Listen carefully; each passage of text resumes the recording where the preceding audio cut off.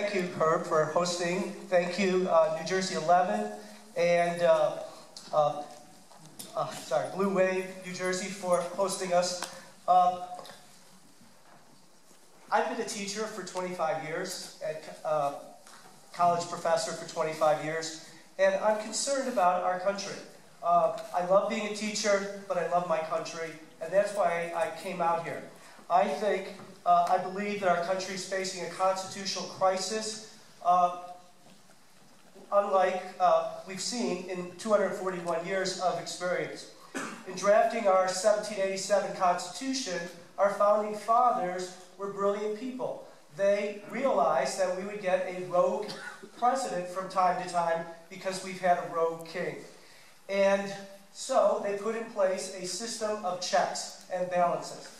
Well, they don't work if the person who's supposed to check decides that they are checked out, that they won't do their job.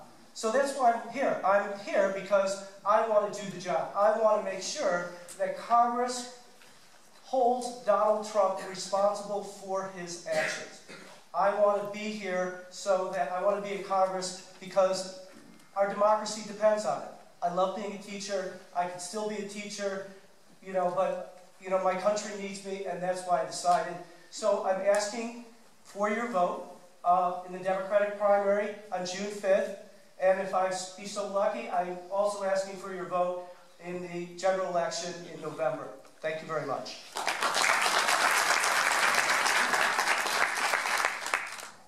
Like always happens with debates, it just flies by. If you didn't hear something from me and you still have a question, please find me online. Please send me an email, ask me a question. I want to start by thanking again our hosts, Blue Wave and NJ11 for Change. The work that you guys are doing is tremendously inspiring. There's somebody else I want to thank uh, for inspiring a lot before we go, and that's my wife, Khyati. You have...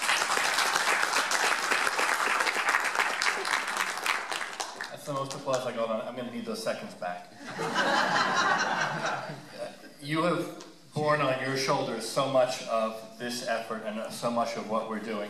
Um, and I have to tell you, I could not have imagined growing up in the country that my journey would take me all the way to Jerusalem where I met you, uh, or that it would bring us here to New Jersey where we have uh, this wonderful life that touches so many parts of the 11th Congressional District.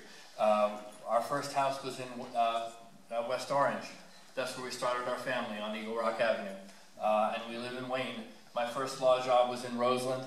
Uh, teaches at Fairleigh Dickinson University for 15 years now as a full professor right down the road. At, yeah, we're going to have person here somewhere. Uh, and, uh, right down here in Madison. Um, you know, from Montclair, where we go to church at St. John's, to Parsippany, where we go when we want good Indian food. Um, our lives touch every corner of this district, and having represented a fifth of it for the last five years as a freeholder, I am passionate and committed about what we can do in this district together. And I'm so excited by what lies ahead of us. We have to choose a candidate that knows what it takes to win an election like this. I've run for office three times, and that's three times more than anybody else on this stage. It's a skill set and it's a set of priorities that we need to wield across this district. Thank I you. believe we can win it, and I ask for your help.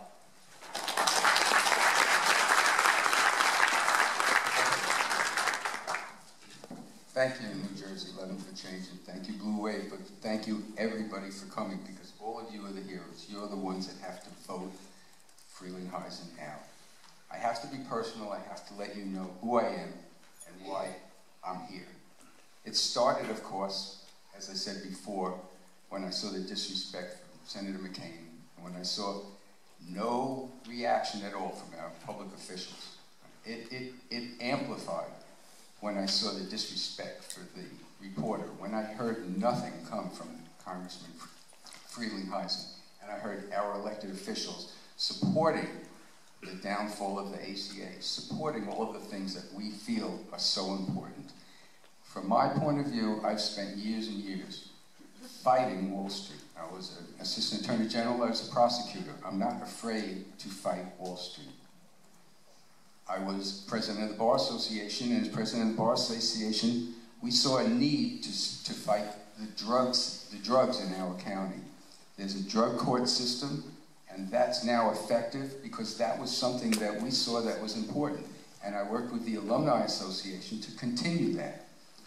I was president of the Bar Foundation, and the Bar Foundation works to help battered women. It helps the veterans. We have clinics that we've attended. These are things that have taken years. This is a commitment to the community over many, many, many years. But the important thing is, every single thing that I've done has been nonpartisan. There's not one time when anybody said, are you a Democrat or are you a Republican? They've never done that. And when I made the decision to vote, to, uh, to, to run, I asked all of the clients and friends and everybody else that I knew, and they said, we don't care. We don't care whether you're Republican. We don't care whether you're a Democrat. We know that you will stand up for the rights of every citizen in this district, and that's what I'll do.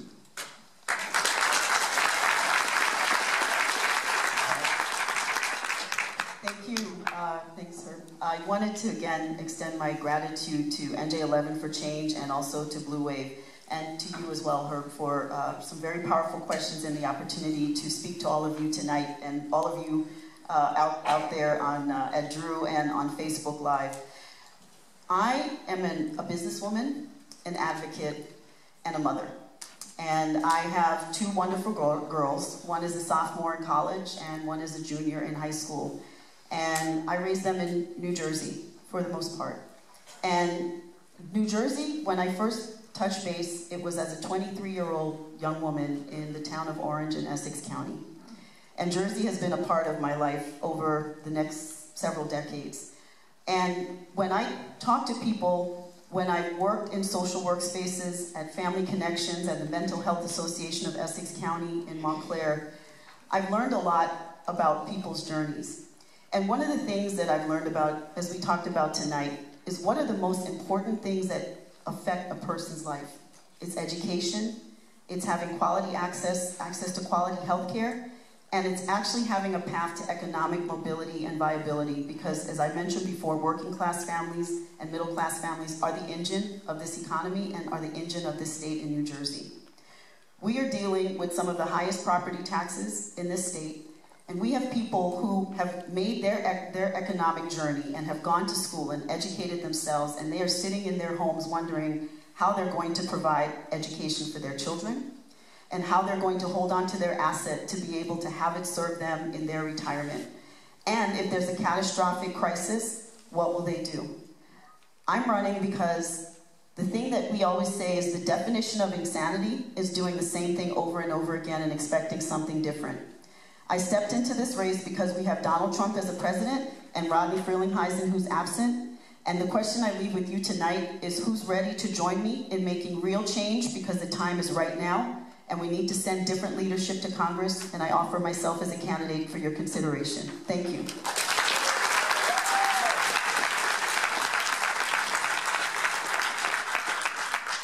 I would also like to thank the sponsors of the event. I'd like to thank all of you. I'd like to thank everyone who's listening online. I'd like to thank everyone up here because frankly, I think we've all learned quite a bit from each other. One is which is, of which is that we have a lot more that unites us than divides us. And I think it's important to keep realizing that.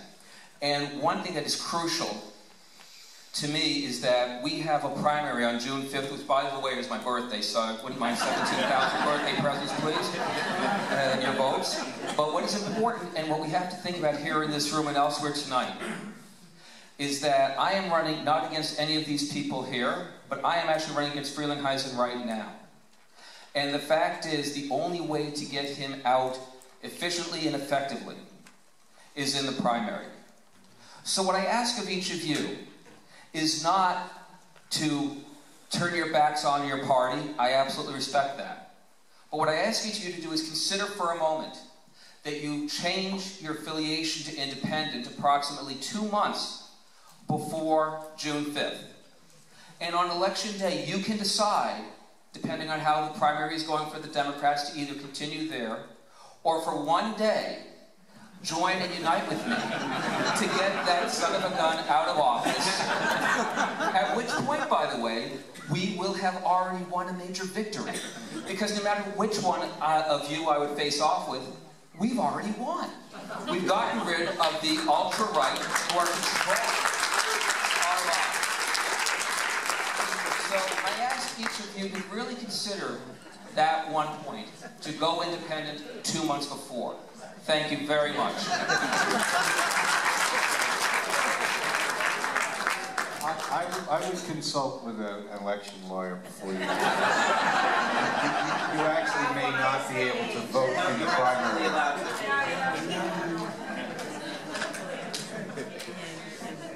Well, thank you, NJ11, for change.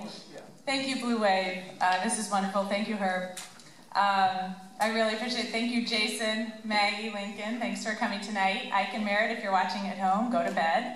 Um, you know, I've wanted to serve my country almost as long as I can remember. When I was in fifth grade, I told my dad I was going to become a pilot, I was going to go to the Naval Academy, and I was going to serve my country. And so, when I see what's going on right now, when I see what's going on in this country, I'm reminded of a lesson that I learned while I was serving in the Navy. The worst thing you can do in the United States Navy is to run a ship aground. And yet, often, when a ship runs aground, there's an investigation, and you find that people on the bridge of that ship knew it was going to run aground, and they didn't say anything. And maybe they didn't say anything because they were scared of the captain. Or maybe they didn't say anything because they thought the other people on the ship might make fun of them. But for whatever reason, they didn't stand up. They didn't stand up and they put themselves ahead of the ship and its crew. And I think that's what's going on in Washington. We have a president who's running this country aground.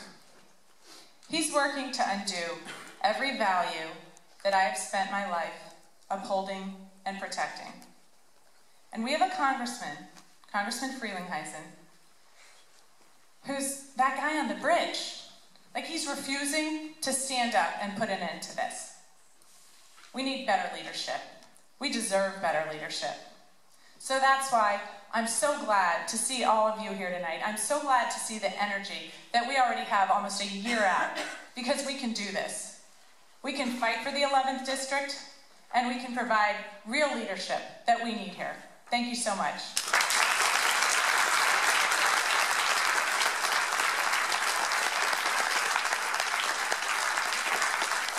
Thank you all for coming. Drive safe.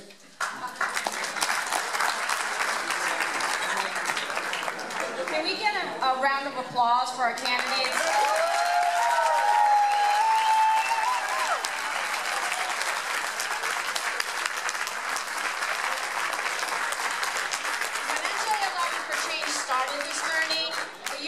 did you guys think that we would have this type of response?